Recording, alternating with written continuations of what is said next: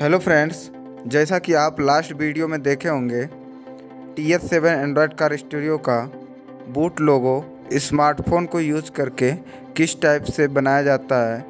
यदि आप वो वीडियो अभी तक देखे नहीं हो तो प्लीज़ नीचे डिस्क्रिप्शन में लिंक दिया हुआ है। वहाँ से आप वीडियो क्लिक करके देख सकते हो।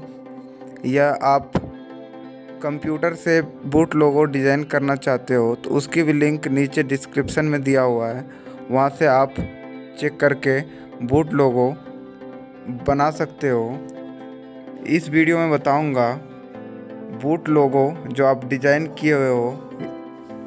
उस बूट लोगो को T S seven android car studio में किस टाइप से सेट किया जाता है?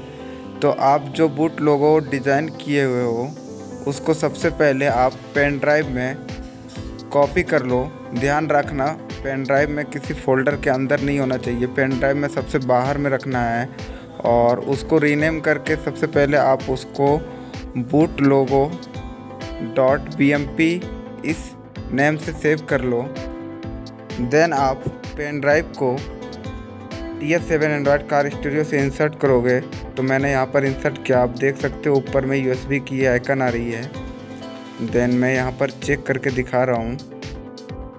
मैं यहाँ पर फ़ाइल मैनेजर को ओपन करके दिखा दे रहा हूँ। यहाँ पर बूट लोगो की फ़ाइल जो मैंने डिज़ाइन किया हुआ है। यहाँ सबसे लास्ट में boot logo dot B M P इसको मुझे सेट करना है। मैंने एक कार की ही लोगो सैंपल के लिए बनाया हुआ है।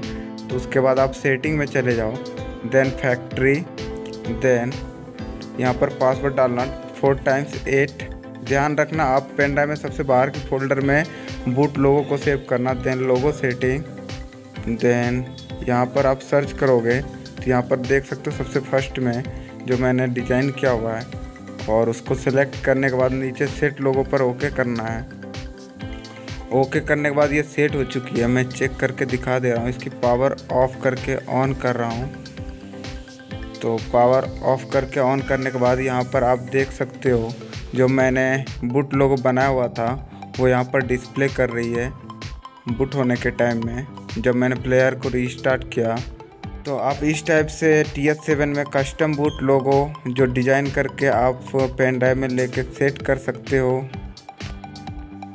Thank you